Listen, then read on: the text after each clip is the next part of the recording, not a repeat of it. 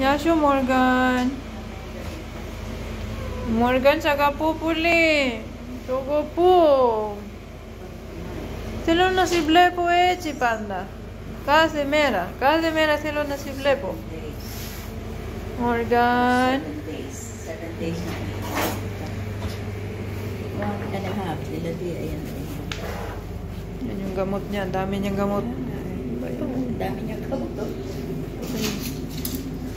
Ayan, mga gamot ni Morgan. Sana man lang makasurvive. Oh my goodness. Ayan, ayan si Mami. Mami ni Morgan. Nawa po eh. Morgan, Morgan, we're doing the best for you so that you will live longer, any longer. Nee, you're welcome. Okay? We do everything for you. We love you so much.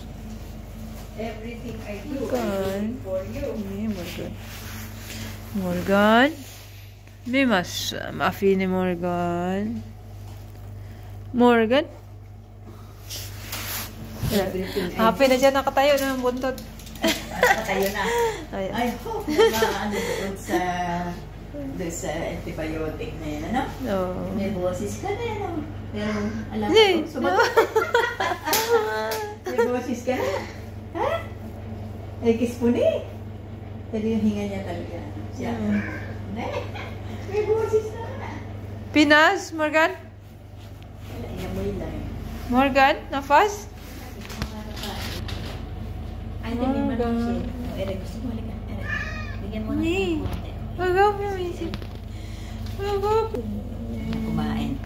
Morgan. Kumain siya. Tapi yun, labig sila kaya. Amoy Morgan. niya yung labig yung antibiotic. Ayun, kumain. Ay, naku, Morgan. Pinalungkot mo masyado. Yan eh. Tapos sana makatae na rin siya, tita. Hindi pa siya natatay kasi alam naman niya eh. Pero yung ano niya, pinagpapak ko, ang dami, bigat. Makit ang balikat ko. Agoy, ba't hindi mo sinabi sa akin? Yung mga buhangin niya. Oo. Ay, naku po, naku po. Uy, aga po, Morgan mo. Siya ako magluluto ako ang kapagkain natin. Ah, sige, tita. Dali ang malutuin niya. Ayan. Ay, ay, ito, ito. Sabi ko nga sa doktor kung may pag-asa pa si Morgan. Ang problema nga daw tita, yung mga medication niya, hindi nagre-respond yung katawan Hindi niya. nga, Hindi nga nag-release. Try daw yung strong na mga medication ngayon. Oo.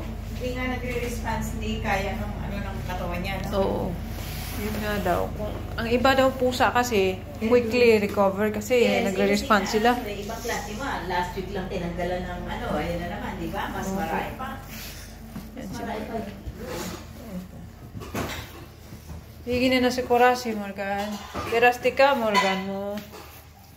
Taxi. Opo. Gawin ko tita, may, may time pa. Tapos ka na sa silver, eh, ano? Opo. Tapos na. habang nagluluto ako, dalang tanyang long sleeve. Ayun, nandun sa ano, nandun sa toilet niya. Pakatatae.